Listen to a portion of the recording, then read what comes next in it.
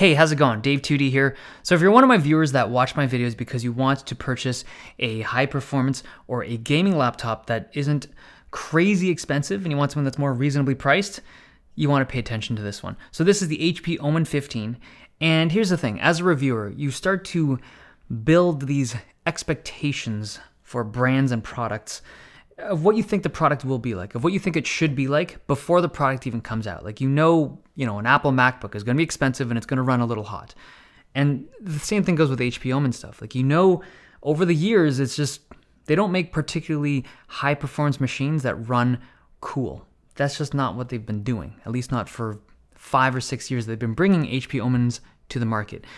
This year's a little bit different. This is the Omen 15 for 2020, and they changed so much stuff.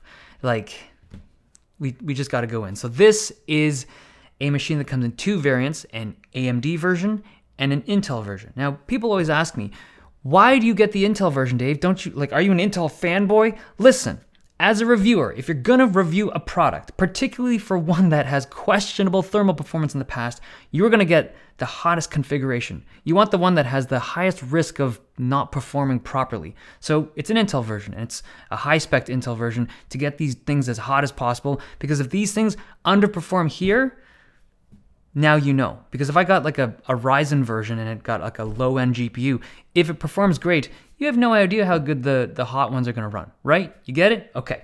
This is the fully specced out Intel version, and let's just jump into performance.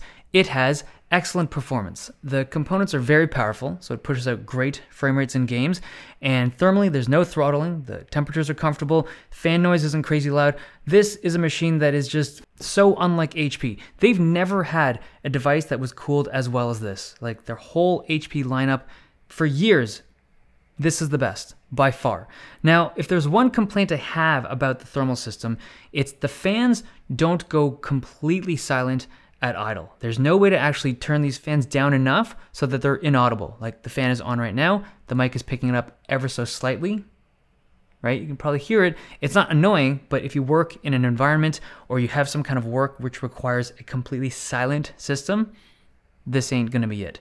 Uh, but aside from that, thermally, it's on point.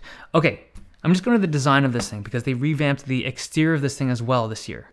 It now has this diamond on the front of the laptop that's this bluish green gradient fade. It's very obvious. Like if you look at this, you can tell if you know your laptop, so this is an HP Omen, but at the same time, it's not super obnoxious, right? It's not a glowing one. It doesn't light up and it's subtle enough, at least to me. I feel like some people are going to hate this, but I personally like it. I think this is something that sets it apart from thousands of other laptops out there, but at the same time, it's not annoying. It's a metal build. It's metal on the top. It's got metal on the keyboard deck. It's a unibody chassis, and the bottom's also metal. There is a couple issues I have in terms of the kind of build quality. The hinge, I would say, is a little looser than I'd like, like the screen hinge. When you lift it up and down, it's got a little more play than I'd like to. Not like a wobble, but I just feel like the hinges should be slightly tighter. But there's also this issue where on the side of the laptop, on this, yeah, you can see it here. The screen on a laptop rests on the keyboard deck when it's closed, right?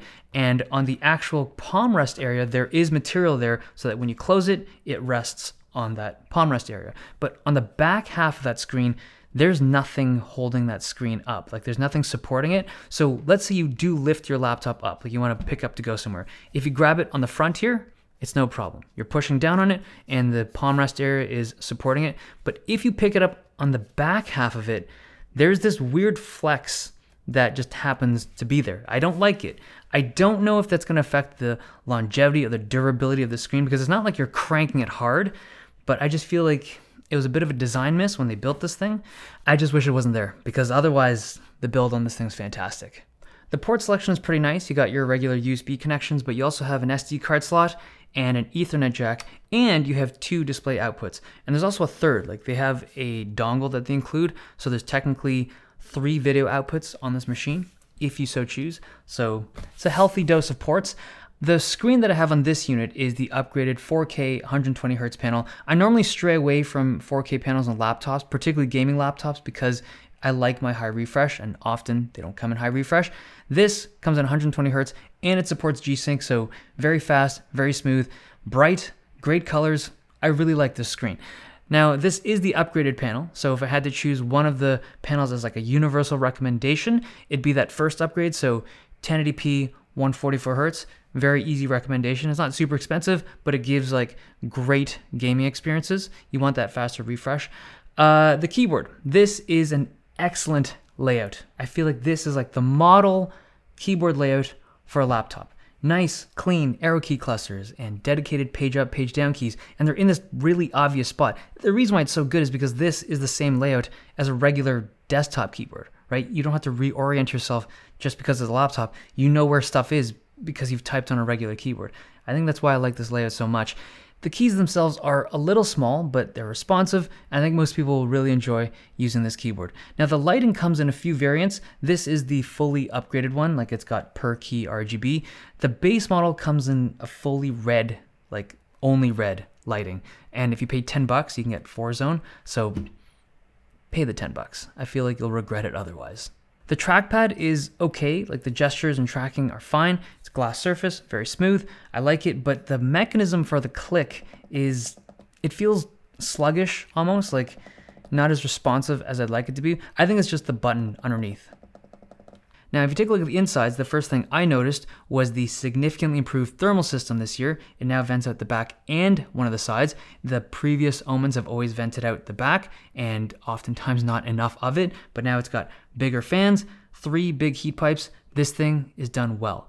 There's two RAM slots, two NVMe bays, and a 70 watt hour battery. Now in this unit, I have a 4K panel. I'm getting three and a half hours of battery life. I feel like if you had the 1080p panel, it'd be like four, maybe four and a half hours.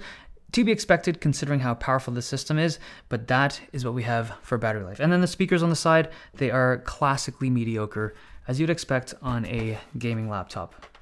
You know, that's maybe the next frontier. We've solved thermals, Speakers are next. Okay, I want to close off this conversation with this topic of, well, the industry right now. A long time ago, when the first gaming laptop came to the market, I'm sure it had terrible thermals. I don't know which company made it, I don't know how bad the numbers actually were, but there's no way it was a properly cooled machine. But look where we are today. July 2020, we're looking at an HP Omen that is properly cooled. It took HP five or six years to land on this, but they've, they've done it, right? This is something that I feel like this is symbolic of the entire industry, the entire laptop industry. You look at any company out there HP, Acer, Asus, Lenovo, Alienware, Razer, they're all capable of making machines now that do not overheat, which is awesome. Like all the memes that people are making over the years, sure, they're expensive and sure, the fans can be loud sometimes, but at the very least, they run cool. That's a win. Okay, that's the HP Omen. I think this is a, a very good machine uh, considering its price especially.